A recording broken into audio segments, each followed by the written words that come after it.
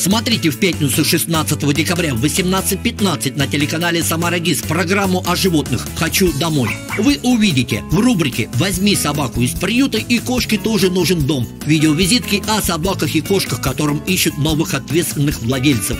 История одной собаки, хулиганское поведение, порчи имущества и как с этим борются ее владельцы. И гости в студии Данила Маштаков, управляющий микрорайоном администрации железнодорожного района, и Любовь Малахова, председатель инициативной группы владельцев собак по улице Карла Маркса и улице Дачной. Тема беседы – открытие площадок для выгула собак. Обо всем этом смотрите в программе «О животных хочу домой» в пятницу 16 декабря в 18.15 на телеканале «Самара ГИС».